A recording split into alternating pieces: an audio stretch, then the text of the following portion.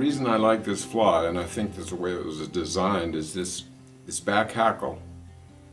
When you strip it through the water, and this is primarily a stillwater fly, tends to push a little bit of water, makes a bit of a disturbance, which, you know, in, might attract fish. The other thing that it imitates, surprisingly, and if you are in a reservoir and you see a lot of snails floating around, you could fish this fly and have really good luck because it does want to look a little bit like a snail.